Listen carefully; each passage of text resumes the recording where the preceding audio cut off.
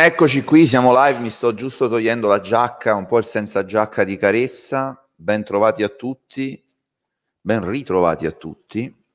Questa è stata una diretta totalmente improvvisata. Devo dire, alla quinta segnalazione del video delirante con il presunto hater che ha fatto Pistono, eh, io devo dire avevo ignorato le prime quattro segnalazioni, alla quinta, anche perché Pistono mi ha, eh, come sapete, vigliaccamente e democraticamente bannato, quindi può continuare a diffamarmi secondo lui senza che io legga, ma ovviamente anche questa è, una, questo è un sinonimo di ciao Pandoro, è un sinonimo di scarsa lungimiranza per non dire altro perché ci vuole ben poco per arrivare comunque ai post che lui crede di potermi nascondermi. Alla quinta segnalazione mi sono andato a vedere sto video di 24 minuti dove lui intervisterebbe un presunto e non identificato né identificabile hater. Dovete sapere che per questi fuffaguru eh, chiunque li contesti, chiunque li critichi anche in maniera competente ed educata è automaticamente un hater. Lo spiegavo in diverse mie dirette, anche in alcuni miei post. Queste persone sono convinte di non essere criticabili da nessuno e quindi chiunque ponga anche solo una domanda è un hater. In realtà non hanno o non conoscono il significato delle parole che continuano a usare, più per auto persuasione mantrica che secondo me peraltro, oppure lo conoscono e in malafede continuano a usarle per passare per vittime. Comunque la telefonata con quest'eter parte bene, nel senso che quest'eter sembra anche una persona eh, critica che fa le giuste obiezioni e poi alla fine si scopre che addirittura il cialtrone sarei io, invece Federico è una persona molto in gamba, eh, un ragazzo capace che sa fare cose, non si capisce cosa, però che sa fare delle cose e vedere della gente e che io sono, purtroppo, dice questo imprenditore, purtroppo ci sono tanti che lo seguono e pendono dalle sue labbra, purtroppo. E vedi questa sciagura che c'è gente che mi segue, sempre più gente che mi segue e, e che anche addirittura alcuni che pendono dalle mie labbra e io faccio questo lavoro di istruzione. Io ho analizzato eh, il, c'è sempre il mio Shopify, eh, ho analizzato ovviamente tutta la diretta punto per punto devo dire le cazzate dette da Pistono sono enormi e devo, devo riconoscergli due talenti. Uh, sembrare uh, calmo, in realtà da quello che scrive, da come lo scrive, dalle, dalle strategie meschine, scorrette che mette in pratica, non lo è per niente. E due, uh, manipolare le cose, cioè riuscire a, e buttandola in caciara. Cioè l'ha fatto anche con Marco Camisani Calzolari. Io partirò da Marco Camisani Calzolari perché rispetto a lui io non sono nessuno, Marco è, eh, ecco, a me chi poco mi conosce e perché io sponsorizzo ben poco quello che faccio eh, al, insomma, per, la, per, la, mia attività di impresa, come sapete ne parlo poco, giusto quando costretto, e quindi lascio che chi ha, insomma, si conforta in questo pensiero eh, una vendita in diretta sei peggio di Fuffaguro, è vero. Drin, un drin in diretta, eh, mi scordo sempre di togliere la suoneria da sto coso, perché io ce l'ho sempre con la suoneria il telefono. Qui dicevo, um, quindi lascio che si confortino da soli in questo pensiero del germano milite sfigato giornalista che non capisce niente di imprenditori, imprese e aziende, anche se oramai devi essere un po' ritardato di mente per non capire che cosa sono, chi, chi sono, cosa faccio, da quanto tempo, dove lavoro, di cosa mi occupo, di cosa sono esperto. Il ritardato o in malafede, o magari un po' entrambe le cose. Comunque, questa sarà una live fortissima, ragazzi. Io mi ero anche scordato di Federico Pistono, ma visto la diffamazione mi ha dato dell'imbecille, dell'idiota, del cialtrone, del bugiardo, dell'incompetente, dell'invidioso. Eh, sì, dite, vabbè, non ti ha citato, ma ero io e si capiva chiaramente che sono l'unico giornalista dopo Marco Camisani Calzolari che gli ha posto le domande. Eh, e ti dico, vi dico che eh, questa live è un, un autogol forse ancora più grande, poi lo andiamo a smembrare punto per punto questo autogol, lo andiamo ad analizzare punto per punto, andiamo a smembrare la diretta punto per punto, più clamoroso degli altri due post deliranti, il primo in particolare che lui aveva prodotto per difendersi eh, dalle mie domande senza rispondere mai. Eh, è clamoroso perché parte ancora con questo libro scritto dieci anni fa, ancora ci dice bestseller. Io ho fatto un'analisi accurata eh, sul libro, l'avevo già fatta all'epoca, non ne avevo parlato per non, perché c'era già tantissimo materiale, c'erano già talmente tante cagate dette dal pistono che avrei, potuto, avrei dovuto fare enciclopedia. Però oggi mi dà l'opportunità, Pistono, di andare a analizzare anche il suo libro, il presunto successo di questo presunto bestseller, di questo presunto capolavoro che avrebbe presumibilmente voluto leggere anche Larry Page. Adesso ha già cambiato perché, vedete, quando voi vivete di balle, quando dite una marea di balle, tenere il conto di tutte le balle che avete detto nel corso del tempo è impossibile. Vi perdete tra le vostre coglionate. Quindi a, a furia di dire cazzate a ripetizione, in maniera forse addirittura patologica, vi dimenticate, ho conosciuto delle persone che non riuscivano a dire la verità, è una malattia proprio. Il bugiardo, c'è, c'è, stato anche un film, immagino famoso, con, no, non famoso, che immagino avete visto famoso con Jim Carrey, dove lui appunto non riusciva a dire verità neanche per cose che non contavano niente. E il succo è se dici balle sulle cagate, per esempio la temperatura di Tallinn, dici balle anche su cose molto più importanti, a maggior ragione, no? E quindi chi vive di balle, chi si costruisce un castello di balle dove ci mette in mezzo anche un po' di verità o mezze verità, è chiaro che poi si scorda, lascia delle briciole di, di, di cazzate in giro e eh, c'è poi chi mette insieme queste briciole e fa un biscotto di merda, che è il biscotto delle cagate che sono state dette nel corso degli anni. Allora, prima, lui prima diceva che in realtà Larry Page aveva letto il libro e si era congratulato con lui. Lo diceva un articolo che ho linkato nella mia inchiesta, se cercate Federico Pistono, Young lo trovate, ve l'andate a rivedere, vi fate una rinfrescata, pubblicato sull'Huffington Post, dove si cita un articolo del Financial Times dove Larry Page parlerebbe di Pistono, citando il suo libro. Tutto assolutamente falso. Cioè, o meglio, aprite quel link che io ho eh, inserito, cliccate sulla notizia del Financial Times non c'è alcuna traccia di Pistono. Adesso Pistono cambia versione, dice che eh, il presidente di Google Play lo ha chiamato perché il libro non era su Google Play e, ma se, cioè, pensatela bene sta roba, e la, Larry Page non voleva, lo doveva leggere per forza da Google Play e quindi lo doveva mettere su Google Play per farlo leggere a Larry Page, ma non poteva comprarlo su Amazon? Poi andiamo a vedere le grandi recensioni che ha su Amazon, questo best seller internazionale, che ha quattro recensioni in croce, eh, in Spagna ne ha 50, non ho visto, con un punteggio di 3, ma andiamo a analizzare così vi faccio anche una, un focus su come valutare la veridicità delle recensioni positive e negative e quindi la vera qualità di un libro, al di là del punteggio medio che può essere facilmente fuorviato, ok, da recensioni fake positive. Eh, adesso ha cambiato versione, quindi dice questa, racconta questa cosa, quindi Larry Page, e ovviamente dice, ma mica posso darvi la mail, è una cosa privata, ma come? Camisani ha, anche Marco Camisani ha dimostrato che tu millantavi grandi conoscenze, grandi confidenze con gente che non sapeva manco chi eri solo perché ti eri fatto una foto vicino al palco, dov'era? E adesso ti fai lo scrupolo di mostrarci questa fantomatica email del presidente di Google Play che ti chiede di far leggere il tuo libro a Larry Page?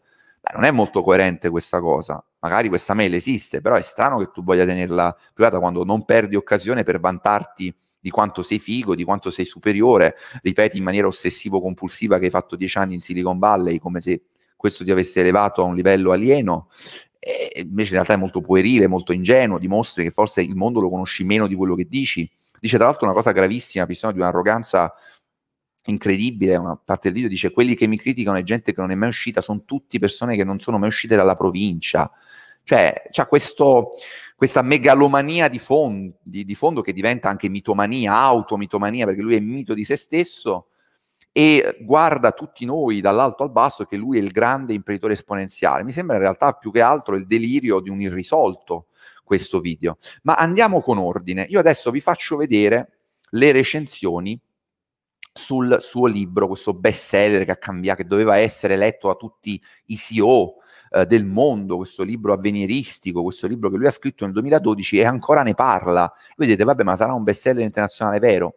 Dai numeri di Amazon direi di no. Sarà un libro eccezionale e incredibile, imperdibile. Dalle recensioni negative e dai voti unici, vedremo, che potete andarlo a vedere anche voi, eh se non vi fidate di me andate a vedere voi, eh, il diciamo, la, le recensioni a 5 stelle e a 4 stelle hanno 1, 2, 3 voti utili. Le recensioni negative che lo distruggono a 2 e 1 stella hanno anche 25, 22, 25 voti utili. E questo mi dà, diciamo, li, li, la, come dire, il, l'assist per parlare di questo tema, del quale ho già accennato in, in un'altra diretta, cioè di come è possibile manipolare le, eh, il punteggio medio dei libri su Amazon di come però è possibile individuare dei libri che sono fondamentalmente scarsi e vendono poco, perché un libro che ha 90 recensioni dal 2012 è oggettivamente un libro che almeno su Amazon ha venduto poco. Dobbiamo vedere anche il ranking, su Amazon è assolutamente basso, quindi non è un best seller internazionale e non è un libro che io dopo dieci anni continuerei a citare come qualcosa che dovrebbe accreditarmi come genio visionario. Ma certo che ci, si riferiva a me, si riferiva a me, assolutamente si riferiva a me mi, mi, parlavano di me, di quello che io ho chiesto, lui mi dava dell'imbecille, del cialtrone praticamente, del bugiardo, persone in malafede, invidioso, fallito, gente che, personaggio che non capisce niente di imprese e startup, quando io gli insegno io a Federico Pistono che cos'è un angel investor, addirittura mi attribuiva frasi che non ho mai detto, vado su Mama Crowd, ma gli spiego io a Pistono come funzionano gli investimenti in ECF sulle piattaforme di crowdfunding. Il primo l'ho fatto non in ECF, ma in reward crowdfunding nel 2012 sono io che spiego a lui come funzionano queste cose. Quindi anche qui vi fa capire che in realtà è, classico, è la classica vittima di fenomeno della, del, di proiezione. Lui proietta sugli altri quello che lui stesso è, bugiardo, manipolatore, in malafede e probabilmente anche un po' invidioso. Non ho la megalomania di dire che invidi me, non credo, spero per lui che non mi invidi, perché essere guidato da invidia quando dici delle cose è sempre brutto, però è chiaro che quello di cui lui, di cui lui mi accusa oggettivamente si macchia. Uh, ciao ragazzi. No, ragazzi, però queste non mi fate domande fuori. Sì, vengono sempre salvate le dirette, non vi preoccupate. Allora, andiamo avanti. Uh, vi voglio far vedere, adesso vi condivido vi condivido, vi condivido, vi condivido lo schermo.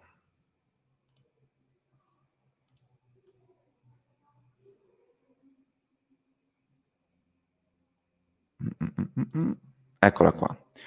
Allora, questa è la scheda uh, delle mh, recensioni in America 3.8, mercato americano, amazon.com, 5 stelle il 42%, una stella 5%, ovviamente va analizzato poi, qui c'è la top positive review che ha preso 12 uh, persone che hanno ritenuto record per Pistone, in Italia non mi pare di aver visto tra le 5 e le 4 stelle più di 5-6 persone, uh, la critica in realtà è questa qui, la, la, la, a 2 stelle che ha preso 7 recensioni, è del 2016, in realtà però se andiamo a vedere, oddio, non me la fa vedere più, quella ha una stella, eccola qui, questa qua di James R. Brannan, che io mi sono preso la briga di leggere tutta e tradurla, in estrema sintesi la lascio qui, poi ovviamente potete fare il fermo immagine o andare su amazon.com e, e cercare la, eh, la recensione, è molto interessante quello che dice, ha preso 22 voti favorevoli, cioè voti utili, che ritengono cioè utile e sensata e ben scritta e ben argomentata la sua recensione a una stella che distrugge senza eh, proprio possibilità di, eh, come devo dire, ehm, di confusione la, eh, il libro di eh, Pistono. E parliamo comunque in totale di questo bestseller che è online da 10 anni di 75 recensioni. Ci sono anche delle recensioni positive, anche argomentate, questa ve la faccio vedere ovviamente per completezza, che al contrario di quello che dice Pistono, io vi mostro tutta la realtà, poi voi vi fate le vostre idee, però oggettivamente su questo libro la recensione che ha preso il record di, uh, di voti utili è questa qui. Ok, andiamo sull'altra. Ok, l'altro record che vi voglio far vedere è questo qui. Ah, ecco perché. Ok, ok. L'altro record che vi far vedere, record, l'altro record esatto, è su questa qui, che adesso vi faccio vedere.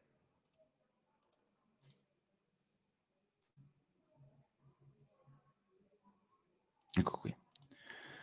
Questa qui, eh, italiana, 91, quindi lui è il paese dove ha avuto più eh, vendite e ha il voto più alto, lì aveva 3.8, qui 4.3. La, la, la, la, più positiva è questa qui che ha preso due persone che l'hanno trovata utile, la più negativa è di Nicola Alinovi che ne ha presi 25 di utili. Saranno tutti quanti haters, invidiosi, falliti, venuti dalla provincia, però devo dire che questa recensione è ottima eh, perché è una recensione di un fan, non di un hater di eh, Pistono, che dice avevo, Nicola Allinovi, quindi c'è nome e cognome a questo verificato, avevo grandi aspettative su questo libro, sia perché il titolo è molto accattivante, sia perché seguo da tempo l'autore e lo considero un giovane estremamente propositivo e in gamba. Purtroppo però devo dire che sono rimasto deluso, il libro del complesso è ben scritto ma manca di qualcosa.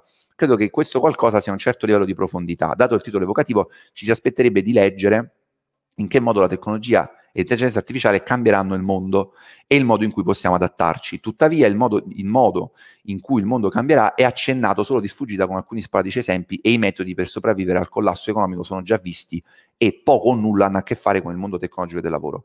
Per esempio, uno dei consigli forniti tra i tanti è quello di limitare il consumo di carne e di utilizzo dell'automobile per ridurre il nostro impatto sull'ambiente. Parole molto belle e solamente utili, ma in che modo questo salverà il mio posto di lavoro quando un robot molto più intelligente di me saprà svolgere le mie stesse mansioni meglio nella mia e nella metà del tempo. Sicuramente parte dei difetti di questo libro si curano con l'esperienza. Questo è un primo libro scritto dall'autore forse in maniera un po' prematura, eh, nel 2012 aggiungo io, ed è il motivo per cui leggerò sicuramente altri libri di Pistono, sperando di trovare la giusta dose di profondità richiesta per affrontare i vari problemi proposti in maniera più approfondita e appagante. Se il livello resta questo, meglio leggere un romanzo. Mi sembra una recensione molto equilibrata questa qui. Ovviamente, ragazzi, sono recensioni, quindi sono sempre robe soggettive, io volevo semplicemente analizzare che questo grandissimo, quindi il pr- primo blocco, primo monolite autoreferenziale, autoconfermativo di eh, Pistono non sembra così top, cioè non sembra che oggettivamente abbia proprio un numero eh, considerevoli di recensioni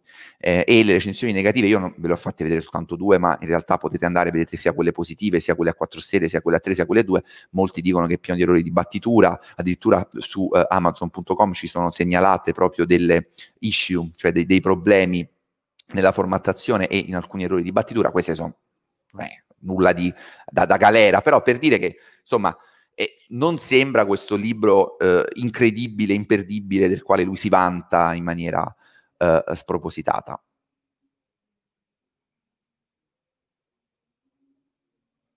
Eh, fa Gianfranco regista mi voce appena ti telefono inventavo una telefonata farlocca. Io non so se quella telefonata sia vera o farlocca, se quella persona, questo Tommaso, che spero magari se esiste ed è vero vedrà questa mia replica alle offese, alle diffamazioni, alla mistificazione, alle, alle falsità, alle bugie di Pistono, vedrà se esiste, spero che insomma, ecco, eh, si, si, tornerà dove era, dove era, partito, cioè col fatto che io Pistono non l'ho bannato e potrebbe intervenire anche qui e commentare e gli ho chiesto più volte un confronto.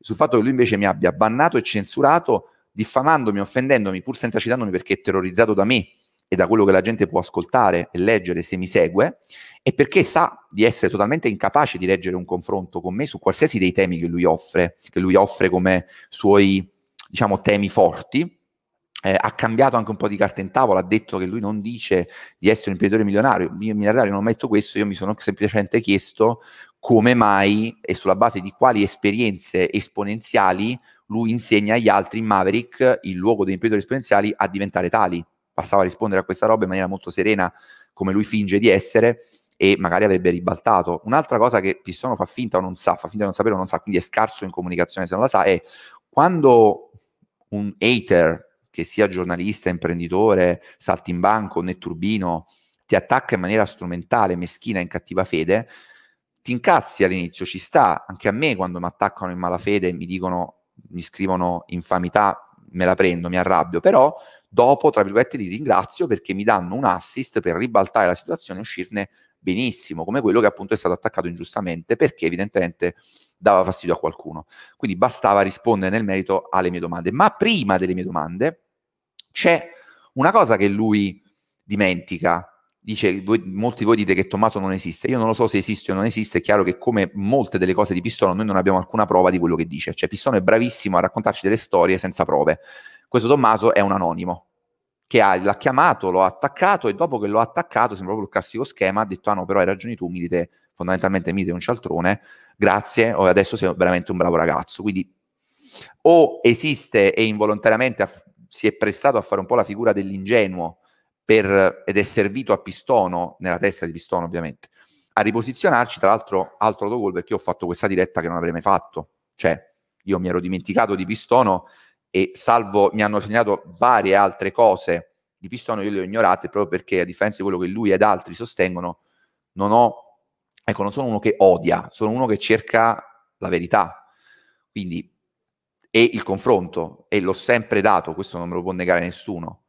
Poi è chiaro che se vieni qua, offendi, diffami, insulti, urli, è normale che ti si banna, ma questo è, è lecito e lo può fare anche Pistono. Io però non l'ho offeso, non l'ho insultato, anzi lui dice che io avrei detto un'altra cosa, l'avrei accusato, detto io tu non sei un angel investor, io ho detto questo, e lo dice anche lui stesso non, ricordandosi la balla precedente dopo, ammettendo che io in realtà semplicemente ho posto dei legittimi, per fortuna ancora oggi, dei dubbi, e dicendomi, cazzo, a 30 anni è è, è, è, difficilissimo riuscire ad avere 200-300 mila euro da investire se non li hai ereditati, non li hai vinti in lotteria, non li hai, vinti, non li hai, non li hai ottenuti dagli investimenti precedenti in cripto. Non hai aziende di successo perché lo ha detto lui, lui non ha una sola azienda di successo, sono tutte aziende chiuse nel giro di poco, fallite, liquidate con dei budget, con dei business ridicoli, dei business plan ridicoli. Quindi non si capisce lui come sia arrivato a 30 anni a mettersi dei soldi da parte. La sua risposta, che a mio avviso è assolutamente poco ben eh, esposta e poco ben argomentata è, è, perché io ho lavorato con delle grandi aziende, con grandi multi che mi pagavano 30, 40, 50 mila euro ogni volta. Ma ragazzi, tutto può essere eh, che ti pagano 40-50 mila per volta, per volta che vuol dire, cioè, perché delle, molte delle esperienze di Pistono lo andremo a vedere con i dubbi mai chiariti a Marco Camisani Calzolari e vi dico, lo stesso atteggiamento spocchioso, infastidito, provocatorio, disonesto, intellettualmente disonesto, scorretto, eh, l'aveva riservato a lui, a Marco che rispetto a me ha un curriculum, anche che è un po' più grande di me, ha un curriculum di tutt'altro spessore, accademico, imprenditoriale, anche giornalistico, e anche con lui ma questa gente che mi nomina per avere visibilità, perché si sente una divinità, si sente una prima donna, si sente il più importante di tutti, evidentemente, e quindi è, convi- è autoconvinto che chiunque lo critichi lo faccia perché vuole vivere della sua luce riflessa. Non è così. Marco Camisani compra e rivende Pistono ed è molto più conosciuto di lui e non ha nulla da invidiare, eppure anche lui ha sollevato dei dubbi e anche lui è stato trattato nella stessa maniera in cui ha trattato me con derisione, un video, in cui, un video in cui non rispondeva punto per punto ma cercava di buttarla in caciara e adesso lo andiamo a rivedere, facciamo un remind, tutte le cose perché? Perché dicevo che evide- eventualmente, effettivamente da quello che sembra al suo curriculum, da quello che lui stesso ammette, che le aziende interpellate, per esempio lui diceva di essere stato Head of Innovation dell'Università di Pegaso, Camisani li ha contattati dalla segreteria e hanno detto sì guarda questo ha lavorato con noi 15 giorni gli avranno dato 50.000 euro per 15 giorni, sarebbe da chiedere all'Unipegaso o potrebbe mostrarci una fattura pistono. E in ogni caso non tutto quello che tu fatturi, lo insegno al mega imprenditore esponenziale, esperto di tutto, eh, pistono, non è che se fatturi anche 200.000 euro in un anno, a patto che tu abbia un minimo di spese e che paghi le tasse, ovviamente hai poi 200.000 euro disponibili, cioè fatturi 200, sei in regime ordinario, ne hai disponibili più o meno 100, 110, 115, spendi, te ne restano 50, 60.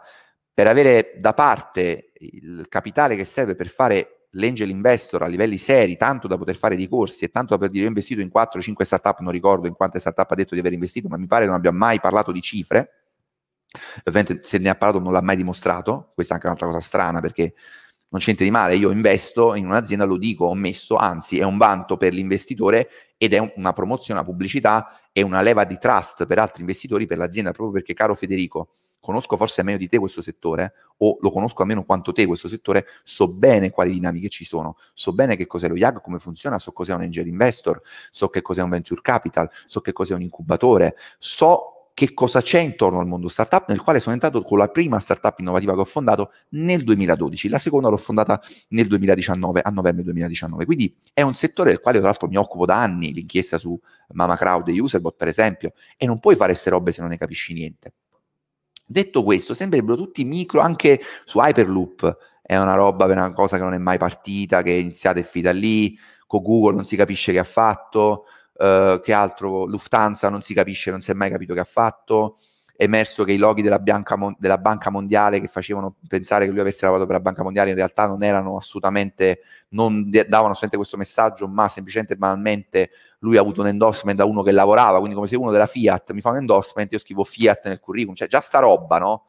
È una figura di merda di proporzioni bibliche, però quando tu sei abituato a vivere dimensioni devi anche far finta di niente su queste robe e andare avanti. Allora, Io eh, voglio prendere proprio la cosa di Camisani e poi analizzo, andiamo a scomporre la diretta delirante del pistone del suo fantomatico. Invito questo Tommaso, se esiste, a eh, confermarmi che esiste e se vuole io non dirò ovviamente, non rivelerò la sua identità, mi limiterò a confermare che effettivamente esiste, ovviamente quando mi darà le prove, magari con un audio, che lui è sul serio un imprenditore con 120 dipendenti e che sul serio ha realizzato una, eh, una, una intervista endorsement per, per, per, per Pistono. Pis- giustamente Lucio dice Tommaso, che non si chiama Tommaso, abbiamo detto, lui ha detto si chiama Tommaso, esce allo scoperto, confrontati come me, come vedi con me io non bando nessuno a differenza di Pistono, non temo nessuno a differenza di Pistono e sono qui anche a dare opportunità di replica a Federico che me l'ha sempre negata, cercando di demonizzarmi, sminuirmi e screditarmi. Nel video mi sono segnato, mi ha insultato in varie volte, mi ha detto, come dicevo, che sono un imbecille, che sono un idiota. Addirittura la parte più esilarante, questa l'analizzo prima, è più delirante, per questo mi fa dubitare dell'intelligenza di questo Tommaso, perché allora o era confuso, stanco, non lo stava ascoltando, o non è stato in quel momento almeno particolarmente attento e sveglio, perché Lì Pistono fa uno dei suoi giochetti mistificatori di bassa retorica, livello molto basso, insomma già a 15-16 anni lo puoi smontare, e dice ma è come se uno, tu hai l'azienda con i tuoi dipendenti, 120 dipendenti, precisiamo che Pistono non mi risulta ne abbia uno solo, quindi non so perché parla agli imprenditori con questo tono di superiorità. Pistono al momento non è un imprenditore, è CEO di se stesso e se anche avesse un dipendente non lo so come si potrebbe, che tipo di, cioè a che livelli, ecco, di imprenditoria potrebbe considerarsi fermo che per me è a sommo imprenditore anche un libero professionista o che ha una micro startup che fattura due dita in croce, ma ci sono diversi tipi di imprenditori, diversi livelli di imprenditori. Chi ha 120 dipendenti è sicuramente più imprenditore di chi non ha neanche mai firmato un fido in banca per ottenere un mutuo e non ha neanche un dipendente, quindi non ha neanche la responsabilità di una persona assunta. Detto questo, la parte forse più esitante c'è verso la fine, mi pare verso il ventesimo minuto, quando lui dice eh, io non rispondo a Milite senza citarmi perché, perché mi aggrediva, questo è un idiota che urla, viene fuori la tua azienda, tu hai i tuoi 120 milioni e dice Tommaso è uno stupratore, Tommaso è uno stupratore mi devi dimostrare che non è uno stupratore, fin quando non mi dimostra che non è uno stupratore lo è. Io là, ragazzi, è lì che ho deciso di fare questa diretta. Verso la fine ho detto no, vabbè, devo fare la diretta per, perché questo è totalmente uscito di testa. Cioè, che cazzo c'entra uno che viene... Io non ti ho accusato di essere uno stupratore, io ti ho fatto delle cazzo di domande, Pistono, e tu mi hai detto che te le dovevo fare in privato. Poi dice, ah, se lui mi avesse detto che um, facevamo una live, no, un'intervista dove lui non tagliava, non smezzettava, ma cazzo, ma non sei molto sveglio come vuoi far credere, ma io faccio le live di confronto. Le live, come dovresti sapere anche tu, lo dice la parola stessa, live, diretta, non si possono tagliare e cucire, pistono. Sei tu che hai paura, sei terrorizzato da confrontarti con me, perché sai che a differenza di quello che dici, un vero giornalista, appunto come un vero giornalista, prima di farti domande in pubblico ho verificato, anche con gente che ti conosce, che ha lavorato con te, ho chiesto feedback e informazioni prima di uscire e ti spiego come funziona il giornalismo, perché tu non lo sai come funziona il giornalismo, so che sei convinto di sapere qualunque cosa, qualunque tema dello scibile umano, tu sei convinto di poterlo padroneggiare, ma non è così. Se io scopro delle verità su di te, de- delle incongruenze nel tuo curriculum, delle millanterie, delle menzogne, o peggio, non sono assolutamente dovuto ad avvertirti per darti modo di cancellarle o magari preparare delle risposte, ma proprio per niente, è l'esatto contrario del lavoro d'inchiesta, anzi io ti devo prendere in fallo a sorpresa, a bruciapelo e farti le domande. Non sono quello che sono tenuto a fare, l'unica cosa che sono tenuto a fare è darti la possibilità di rispondere. Cioè, per fa- faccio un esempio, se ti faccio una domanda e ti dico tu non sei un angel investor, secondo me, e tu invece poi mi dimostri che lo sei, lì io non posso censurarti, è una cialtronata. È un po' come quando un giornalista ti fa delle domande in pubblico, prende più like di te eh, e tu lo banni e lo cancelli insieme a oltre 200 commenti di gente che ti chiede di rispondere alle domande. È un po' quel tipo di cialtroneria lì. Oh, ok, è, è, come se, è, se facessi così mi comporterei come chi fa queste cose qui. Quindi, quando tu dici che io sarei come uno che ti accusa di essere uno stupratore, sei in malafede o sei stupido. Allora, visto che io non credo che tu sia totalmente idiota, non mi permetto di darti dell'idiota e dell'imbecille, penso che tu sia una persona poco corretta, ecco, che adotta delle strategie di comunicazione furbette e meschine. Questo penso, ma non penso che tu sia uno stupido. Penso che tu sia un esaltato, questo sì, un esaltato che si fa perdere un po', prendere un po' dalla megalomania e dalla mitomania, ma questo è nell'ordine del mio parere opinabile del diritto di critica, ovviamente. Così come tu puoi dire che io sono un imbecille, puoi dire che sono un cretino, puoi dire che sono un fallito, puoi dire che non ne capisco niente di startup e di aziende, lo puoi dire, io non mi sognerei mai di querelarti per una roba del genere, però esigo e voglio quando mi dai, mi muovi queste accuse così gravi, una replica, la possibilità di rispondere e di dire che non è vero, che è falso. E questa è l'unica cosa che io esigo. E quando tu dici che io ho agito come uno stupratore pazzo, idiota, che urla che tu sei uno stupratore, ti assicuro che la figura dell'idiota e probabilmente dell'idiota in malafede la fai tu, non io, almeno agli occhi di gente che ha il cervello, che ha i neuroni connessi e ragiona. Perché? Perché io ti ho fatto delle domande su alcune incongruenze del tuo curriculum e lo storico delle tue aziende e ti ho chiesto in maniera molto semplice, tu poi l'hai buttata in caciara, hai cercato di confondere le acque come fai sempre, sperando che si perdessero in queste acque che hai mescolato la marea di cagate che avevi detto ne, ne, durante la tua carriera di presunto esperto di non si capisce cosa. Eh, hai detto che avevi detto ai tuoi genitori di investire in Google nel 97 quando Google è nato nel 98 e si è quotato nel 2004, poi hai detto no, è un errore di battitura, cazzo, dal 97 al 2004 è un bel errore di battitura, non è 9-8, però qui si capisce la tua malafede, perché io uno studente non, non ti ho accusato di essere uno stupratore, è una classica, un classico eh, mezzuccio retorico eh, di bassa lega che serve a inventarsi una cagata che il tuo avversario non ha mai detto per screditarlo. Io ti ho fatto le domande semplici, non ti ho mosso delle accuse precise. E dove ti ho mosso delle accuse, erano accuse aperte, cioè ti ho detto, guarda, a me risulta che tu hai delle aziende che non fatturano niente e che non hai mai fatto, non hai mai fondato una sola azienda di successo. A me risulta questo. Me lo confermi o me lo neghi? Puoi vederla come un'accusa, quelli come te la vedono come l'accusa di un etere con la bava alla bocca che ti invidia perché tu fai un sacco di soldi e lui è povero. A voi piace anche pensare questa cosa che io sono povero. Se, se, se, se vi dico che sono povero state meglio, allora sì, sono povero, frustrato, non guadagno niente, non ho costituito la mia vita. Poi magari un giorno vi farò il mio percorso dell'eroe, ve lo racconterò quando e se mai mi interesserà e mi andrà.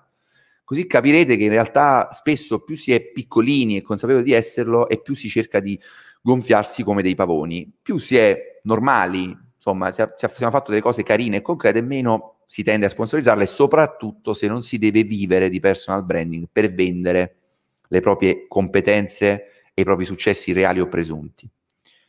E H scrive Germano, tu e Pistone siete uguali, tutti e due con le E H, io spero che questa sia una battuta, perché ti potrei mandare anche a cagare. Uguale a Pistono, ti querelo subito. Aspetta, chiamo il mio avvocato, faccio come, come fa Gattuso. Avvocato?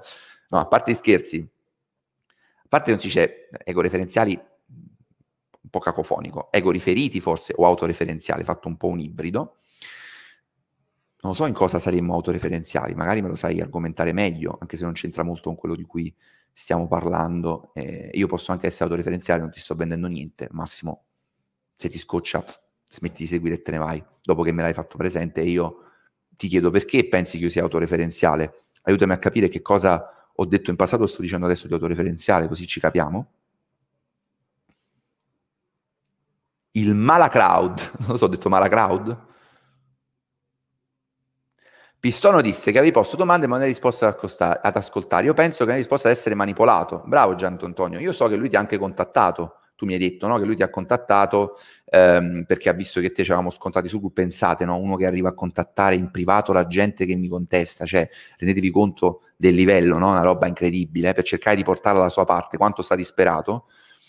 E sì, lui dice: No, non è vero, sto qua. Pistono, eh, sia io che Marco Camisani stiamo aspettando da Pistono delle risposte, siamo solamente pronti ad ascoltare. Che lui poi ci voglia dipingere come dei caini, dei, dei, dei, dei ladri, dei, ladri, che, che devo dire, delle, degli schifosi invidiosi, beh, fa parte del suo autostorytelling di uno che si dice da solo che è un CEO, è difficile il lavoro da CEO perché devi, eh, devi, devi um, fare selezione del personale. Ragazzi, ma eh, Pistone, faccio selezione del personale a 10 anni, mi sto sparando le menate per stare a me, per me è una cosa normale, forse per te è una cosa nuova, è credibile fare selezione, forse è la prima volta che stai selezionando un... cioè non si rendono neanche conto, se voi vedete quel posto, c'è la sua foto con la citazione CEO, è dura essere un CEO, ora capisco cosa vuol dire essere un CEO, vi rendete conto che lui è talmente preso nel suo stato di alienazione megalomane che non si rende conto che è ridicolo due volte perché si mostra sorpreso da questa attività, che per un vero CEO è la, è la normalità, è la roba che io faccio da dieci anni, cioè non è una roba che faccio da un anno, da due anni, da tre anni, mi sembra, oddio, è incredibile, e poi sento il bisogno di scriverlo, che è incredibile. Ma sti cazzi, significa che tutta questa grande esperienza che, di cui parli non c'è. Comunque, finché non ti tuffi anche tu nel mare ghiacciato, caro Milite, parliamo di niente. Hai ragione, cara Fidilio. Tra l'altro, il mare non ghiacciato, ghiacciato di Tallinn, dove c'erano meno 2000 gradi. In realtà, le temperature medie in quel periodo, ma Tallinn, basta che voi fate una ricerca, sono molto lontane. Tra l'altro, una temperatura a meno 10, meno 17, non so quanto cazzo, meno 20. Che dice, se dobbiamo fare cazzate, spariamo le grandi, no? L'acqua è ghiacciata, cioè il mare non è che ci vai nel mare, il mare è ghiacciato, l'acqua ghiaccia, basta andare su Google e vedere a quanti gradi l'acqua ghiaccia, quindi meno 22, come cacchio fai a entrare nell'acqua? Tra l'altro manco è, pare fake, pure quella buffonata, quella pagliacciata, cioè tu si vede che lui che va fino alle caviglie, poi sparisce, non si vede che effettivamente sia immerso e lui riemerge. Cioè, cioè. Allora rendiamoci conto che io proprio perché? Mi avete segnalato. Germano guarda che ha pubblicato, ah è ridicolo, Germano ma questo è pazzo, Germano ma va aiutato, Germano ma questo non sta bene, e visto che io non faccio lo psicologo e non mi accanisco e non sparo sulla Croce Rossa e tendo ad evitare il più possibile di prendere sul personale, sebbene lui mi abbia già offeso e diffamato in precedenza, io ho ignorato tutto, ho detto vabbè ragazzi non è che non posso parlare di Pistono che si dice che da solo che è un CEO, cioè diventa poi forse anche fuori luogo per voi che mi seguite, no? Me ne sono occupato, le domande restano aperte, lui non è mai stato in grado di rispondere, né è mai stato in grado di fare un confronto con me, ma ripeto, è un confronto che perderebbe, cioè un confronto che lui sa di non poter fare con me, eh, né con, eh, tantomeno, ancora meno con Marco Camisani Casolari. Quando ho visto questo delirio dove si ribalta la realtà, si manipola completamente addirittura si manipola le mie domande, mi si fa passare per uno che dà dello stupratore gratis alla gente, ma mi devi denunciare domani, una cosa che non si dimentica di dire Pistono, ma io ti do dello stupratore, ma denunciami, hai già vinto, denunciami, hai vinto già, è una delle poche cause sicure, denunciami, querelami per diffamazione perché ti do de- dello stupratore e vinci, altrimenti è fuffa, è aria fritta persino la risposta all'accusa di fuffa, cioè la fuffa inside fuffa, è bellissima questa roba qua. Eh, non la sapevi tutta sta roba, è allucinante. Uh...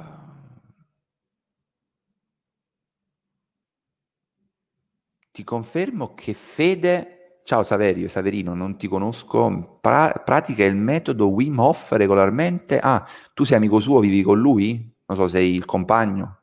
No, non, non dico per, per, prenderti in giro, eh, giuro, non sono sarcastico. Sei il compagno, un socio, vivi con lui, come fai a saperlo? Eri lì? Ti spiego perché molti, me compreso in sincerità, hanno pensato che Fede avesse messo un fake. Prima di tutto perché abbiamo detto che la temperatura non può essere, quindi almeno la temperatura è fake, la temperatura al 100% non è meno 20 gradi.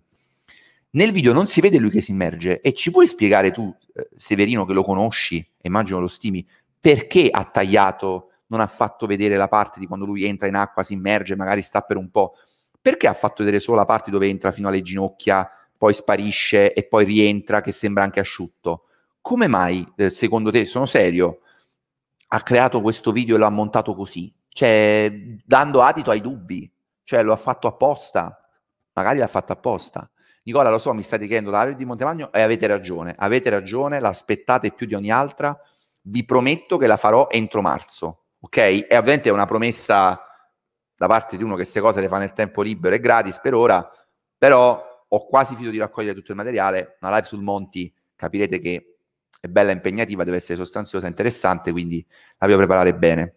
Andiamo a vedere però, eh, per smontare tutte le altre sciocchezze che lui ha detto eh, nel video, eh, addirittura lui dice che non mi risponde oltre perché sono un idiota, un imbecille, un fallito, eh, uno che è in malafede, non capisco le risposte che mi dà. Cioè, io ascoltavo e dicevo, ma mia, questo è un esaltato. Io ne ho, visti po- ne ho conosciuti pochi di esaltati come Pistono. Cioè, questo veramente è convinto di essere Gesù, sceso in terra, venuto tra noi. E probabilmente lo hanno aiutato a costruirsi questa maschera, questo personaggio automacchiettistico, quelli che gli hanno dato credito senza fargli mai una domanda. Quindi lui si è anche disabituato a gente che lo metteva in dubbio. E per questo reagisce così male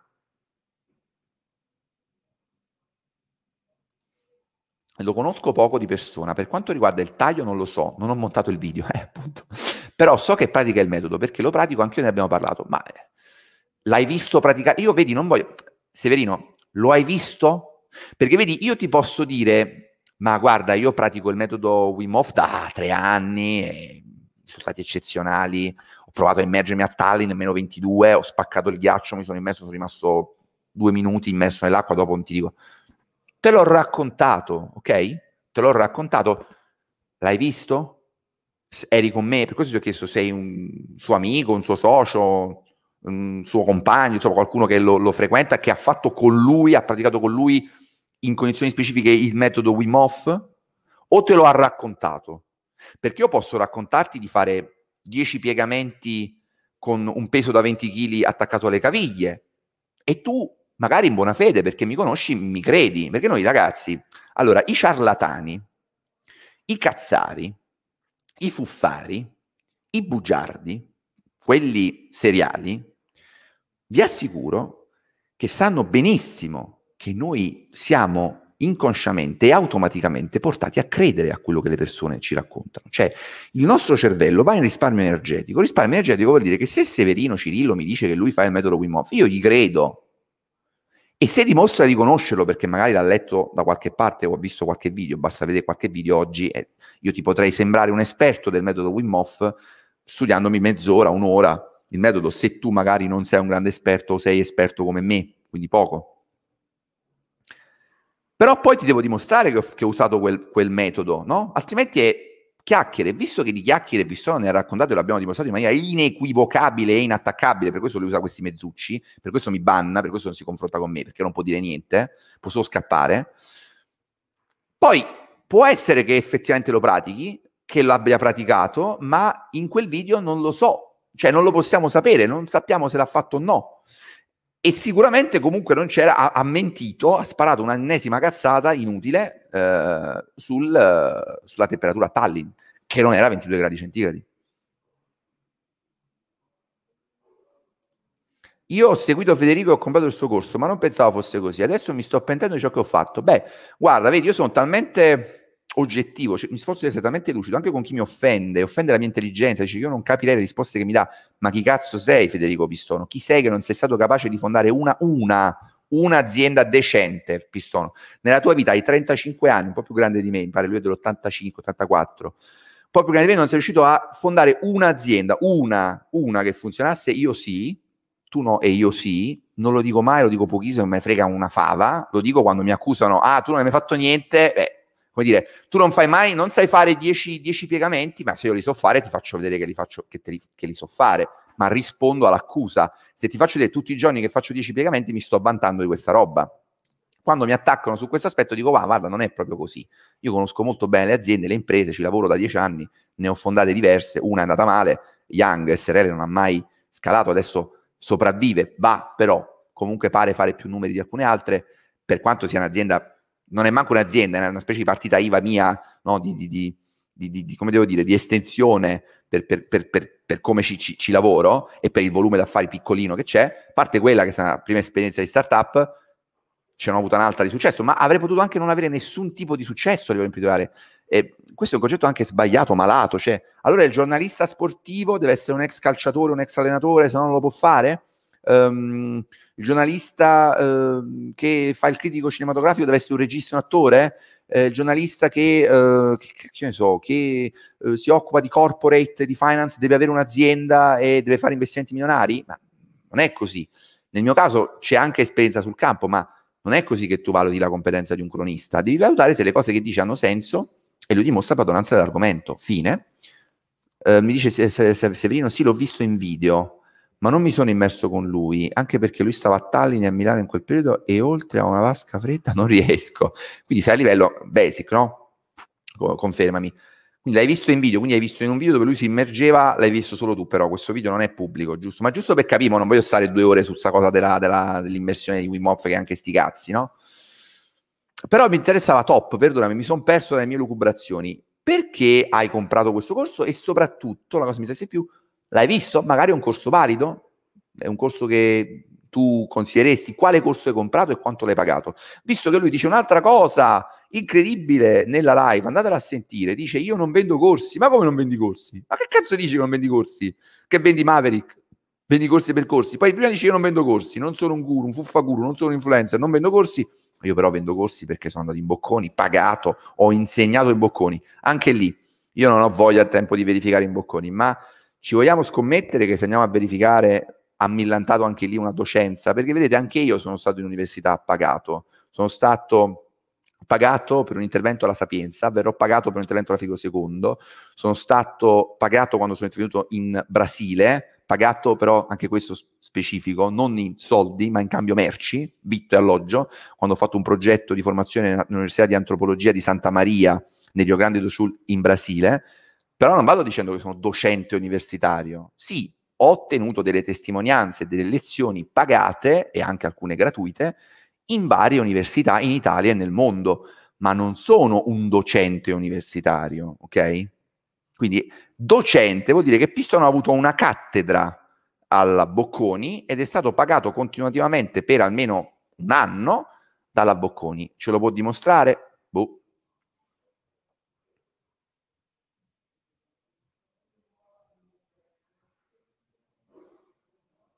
Diciamo che il background esatto non rema a suo favore guardando quell'immersione non mostrata, cioè uno che adesso andiamo a vedere su dove ha mentito, lo ricordiamo, facciamo un remind, ha mentito così tanto, così spudoratamente. Ragazzi, io vi ricordo che Federico Pistono, Pistono adesso poi la gente dimentica, lui, lui gioca su questo, ma Pistono è stato beccato da Camisani che prendeva frasi di altri e le spacciava per sue. Ora, questa roba a voi può sembrare, vabbè dai, un peccato veniale. Ragazzi, ma è una cosa grave, perché tu vai in Rai, sei comunque un personaggio, non sei un personaggio famoso perché voglio dire, Pistono, chi cazzo lo conosce? Cioè, lo conosceranno qualche centinaio di migliaia di persone, forse a nome in tutta Italia, cioè non è un, non è un personaggio famoso, però comunque sei una persona in vista, ecco, sei un personaggio pubblico, poi ci sono quelli più famosi meno famosi, però sei un personaggio pubblico, e tu, consapevole che qualcuno ti potrebbe sgamare, fai sta roba. Allora lì già si vedono tante cose, no?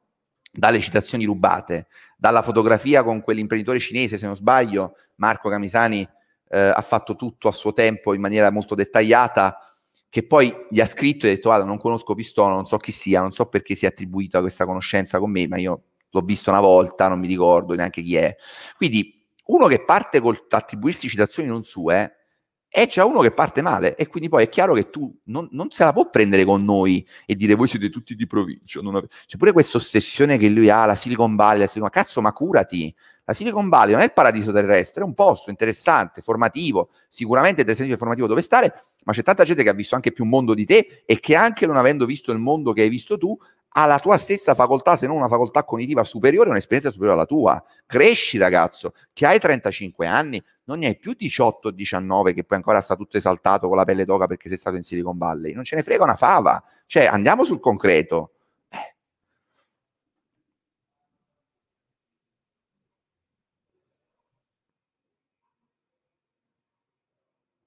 Allora, Roman scrive: andare a confrontarsi sicuramente aiuterebbe molto di più anche la reputazione del brand, in questo caso del brand Pistono, che è abbastanza compromessa e penso che lui abbia fatto studio perché è disperato perché continua magari ad avere gente ah, non me lo spiego altrimenti perché quello che mi dicevo con un altro mio amico esperto di comunicazione diceva ma perché ha fatto sta roba? Ma è pazzo cioè è stupido è autolesionista è masochista perché fa sta roba? Cioè oramai era un po' passato no?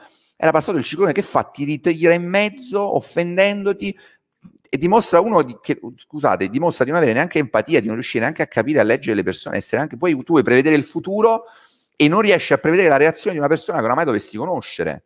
Qui dovevi intuire che se facevi un video del genere dove mi facevi passare per idiota senza citarmi, mi davi dell'idiota e dell'imbecille senza citarmi e dicevi che le domande che ti ponevo erano tutte stupide e mi facevi passare per quello che pensa con Angel Investor sia uno che fa che investe 200 euro in ECF su Mama Crowd io secondo te potevo mai non rispondere Federico Pistone adesso rispondo e ci ritorno e ritorno anche su cose vecchie tra l'altro che ci ritorno perché non le hai risolte se le avessi risolte non ci tornerei più diceva Roman perdonami Roman sì, assolutamente, assolutamente. È, è, un'operazione di una tristezza infinita andare a contattare in privato. C'è un altro, un tale Simone Frava, a me sembra un imbecille completo. Eh, se vede, vede il suo commento dove mi insulta, anche lì senza nominarmi, eh, che sono un cafone. Ma questo imbecille è venuto a insultarmi nel mio gruppo, è stato massacrato non solo da me, ma da tutti gli iscritti Infatti questa cosa l'ha, l'ha fatto rosicare tantissimo e lì parla gente che prende le sue labbra. No, se tu dici cose che sono oggettivamente idiote, è chiaro che la gente che non è idiota come te ti contesta. A parte sto Simone Frama che mi odia per motivi che francamente è ignoto perché l'ho mandato a cagare in privato in pubblico, parte sto tizio, poi ci sono altri 4-5 commenti, gente dice bravo, grande fede, ottimo, hai fatto proprio bene, non li pensare, guarda e passa, e tutte queste solite cazzate. è il nulla quel video, cioè è un video che non ha interazione e se adesso voi andate a, a, a, a linkare la mia replica, lui è il terrore che la gente mi veda e mi ascolti e che abbia altra campana. Questa pagliacciata che ha fatto di questo pseudo presunto imprenditore eh, che avrebbe, eh, si sarebbe ricreduto, ma questo imprenditore perché non scrive anche a me? Visto dice vuole sentire due campane, perché? Perché dice, ah beh, tu l'ha già sentita, no, non l'ha sentita perché e si è fatto manipolare, se esiste, da Pistono. E perché Pistono ha organizzato un'altra volta sta roba a cerchio chiuso, dove se la canta e se la suona? Cioè ha preso uno, gli ha tagliato e spezzettato l'intervista, come diceva lui, per uscire secondo lui figo, ma ne è uscito da- massacrato perché dice talmente tante cagate che durante la diretta tutte le cazzate che dice se le perde, se le scorda, evidentemente anche in fase di montaggio non è riuscito ad arginarle, oppure, ripeto, come mi diceva ieri un amico, probabilmente lui non ha una parte di, stessa, una parte di se stesso, non ha proprio la percezione di, di come lui com- appare al mondo, cioè una percezione distorta del Federico Pistono fuori da Pistono. Cioè lui si vede in un modo e, ed è incapace di capire come gli altri lo vedono, anzi quando gli altri lo vedono in un modo che a lui non piace, fa come ha fatto con me, banna, chiude, critica, scredita, offende, diffama e dice sono tutti cretini, come fanno i bambini di sei anni, no? Dice, eh, non voglio sapere le tue critiche, io faccio così. Ma se tu sei un professionista e addirittura l'ardire di voler insegnare ad altri come diventare imprenditori esponenziali pur non avendo mai, una, mai creato una mezza azienda che funzionasse, almeno di avere la maturità, la lucidità, la decenza, la dignità umana e professionale di accettare le critiche e di non fare finta di accettare le critiche, perché in realtà se ci fate caso quel video che lui ha, quella registrazione, alla fine è una registrazione che gli fa gioco, cioè una registrazione che parte criticandolo, lui poi ribalta, secondo lui, alcune critiche perché non ci sono io che gli dico ma quando mai, io non ho mai detto che non ho detto esattamente che tu volevi le domande preparate, non ho mai detto che tu non sei un angel investor, ho posto dei dubbi sul tuo ruolo da angel investor. Ho detto che è, mi risulta molto strano, se non impossibile, che tu abbia tutti quei soldi da investire a 30 anni se dici che non hai eredità, che come al solito la storia della mia famiglia, non c'aveva un euro, ero povero, bla bla bla, se no non, non tira.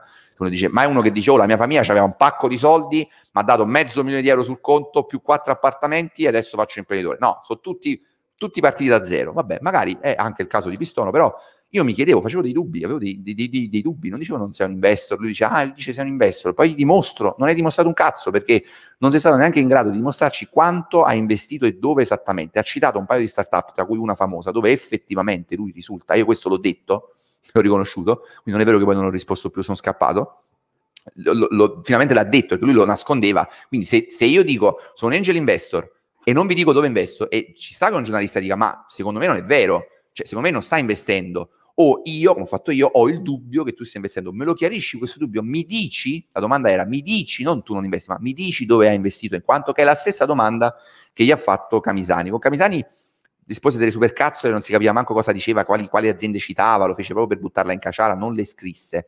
Come, se non erro, ha scritto il nome di un'azienda, ora non la ricordo, eh, una startup abbastanza famosa, lo, lo, vado a ripescare perché c'è, a meno che non abbia cancellato anche questa traccia, e io gli ho dato atto, ho detto, va bene, ok, allora quanto hai investito? E il secondo dubbio che mi è venuto è, cazzo, ma se è vero che hai investito 200-300 mila euro e non sei un pazzo, vuol dire che hai da parte almeno un milione, un milione e mezzo. E come si è fatto un milione, un milione e mezzo se non risultano, non risultano, non, sono, non risultano a noi, poi magari ce le mostri, delle collaborazioni con aziende di un certo calibro che durino più di tot tempo, che non siano a termine. Eh, non hai aziende di successo, mi hai detto che non hai, dici che non hai un'eredità di famiglia, dici che non hai investito in cripto, quindi questi soldi, questo milione e mezzo, due, da dove vengono? A meno che non sei un pazzo, ti sei messo da parte 200.000 euro e li hai investiti tutti.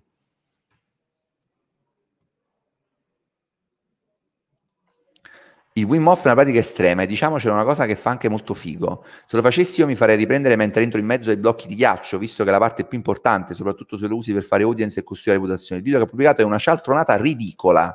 Ma questo, ragazzi, anche se siete i genitori di Pistono, cioè quindi gli volete bene, giustamente lo difendete come giusto che sia, vedete quel video e dice, figlio mio, ma perché hai tagliato la... Cioè io da padre, da padre di Pistono, so che mio padre a me mi farebbe questa domanda, mi muoverebbe questa critica a mio padre, ok? Mia madre, ancora, ancora prima di mio padre, direbbe, ma, ma scusa, ma, Gemma, ma il metodo Wim Hof dov'è?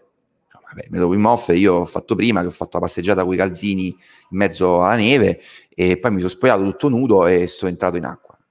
I miei genitori mi direbbero, sì Gemma, ma non si vede che entri in acqua, si vede che vai fino alle ginocchia e poi rientri dopo e sembra che non sei entrato. Potrebbe sembrare così, agli occhi di, que, di quello che ti odia, di quel giornalista schifoso, terrorista, fallito, imbecille, idiota, cretino, ritardato, poi dice che tu, ma perché? o- è oggettivo che quel video è una roba imbarazzante, è una roba cringe, un cringe incredibile. È vero, non sono come Pittaluca, lui è docente internazionale.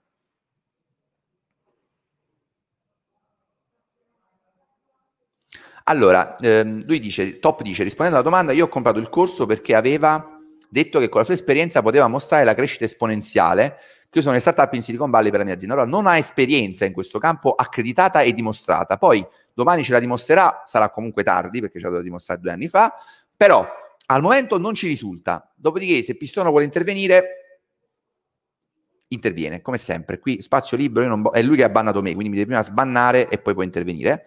Però volevo capire, quindi ti ha deluso, ti è piaciuto? Non ti voglio costringere a dire che il corso fa schifo, magari è ottimo, eh, anzi ci dici che nonostante lui non abbia sembri non avere alcuna esperienza diretta in alcun business esponenziale, se non a livello teorico o che ha lavorato per 15 giorni per qualcuno, ti è stato utile? Come lo trovi il corso? Ho capito che sei un po' infastidito perché dici mi ha ingannato su una parte di esperienza che sembra non avere. Io l'ho comprato, vedi, dimostri, questa, parte, questa testimonianza è importante perché dimostra quello che io dico, quanto è importante.